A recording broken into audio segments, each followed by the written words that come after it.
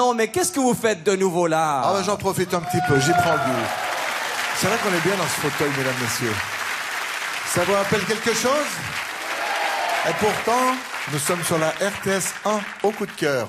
Mais pour présenter l'invité que je vais vous annoncer maintenant, ben, c'était tout à fait normal que je sois assis dans le fauteuil de cette émission, parce que lui, ce concours, cette année, il l'a gagné. Il l'a gagné devant 20 000 candidats. Une voix extraordinaire qui a touché beaucoup de monde. Les quatre jurys s'arrachaient sa candidature et pour finir, il avait opté pour Garou. Et puis c'est une nouvelle grande voix en France extraordinaire. Il a fait un premier album et ce soir il nous chante une chanson qui est en fait le thème d'un film qui s'appelle La Belle et la Bête. Mais pour chanter comme ça, il n'y en a qu'un seul, mesdames, messieurs. Et je vous demande d'applaudir très très fort mon ami monsieur Johan Fréget.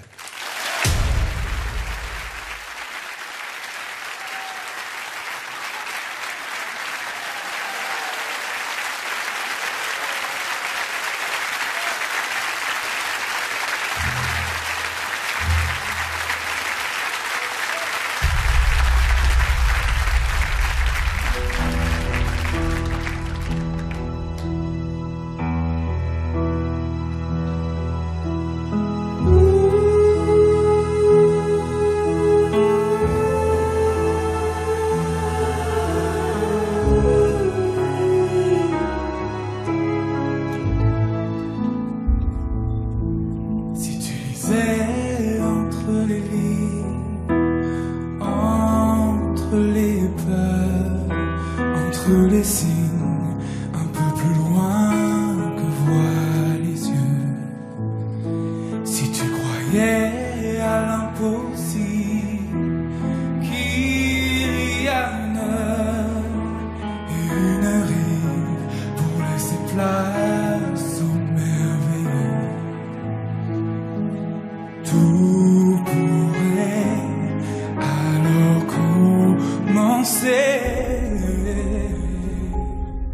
Parce que derrière les apparences, derrière les griffes de l'existence, il y a tant de beauté. Parce que derrière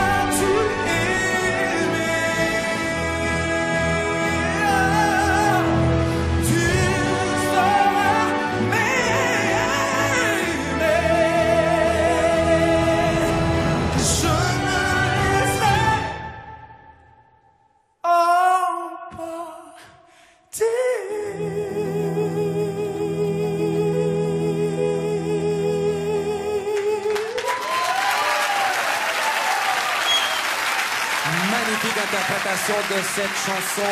Johan Frégé, pour la première fois dans les coups de cœur d'Anna Morisot. Venez nous rejoindre.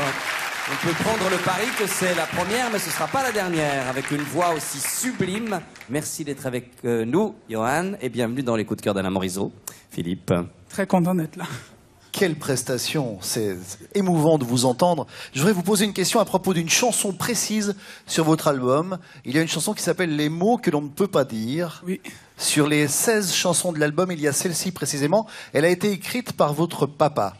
Racontez-nous, c'est extrêmement rare d'avoir un chanteur qui a une chanson de son père ou de sa mère éventuellement sur un album. Quelle est cette histoire? Racontez-nous. Alors la petite histoire, c'est que mon père est donc euh, auteur, compositeur, interprète, il est chanteur et pianiste. Ouais. Et depuis que je suis petit, j'ai bercé dans ses mélodies. Il est dans un style assez différent du mien puisqu'il est plutôt dans le euh, pop rock et que moi, bah voilà, depuis mes 15 ans, je suis dans la soul et dans le gospel, mais j'ai toujours adoré ces mélodies qu'il avait.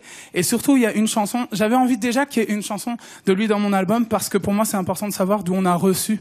Et il m'a donné énormément, donc voilà, c'est une manière de lui rendre hom- hommage aussi. Mais je l'aurais pas fait si sa musique euh, ne me plaisait pas.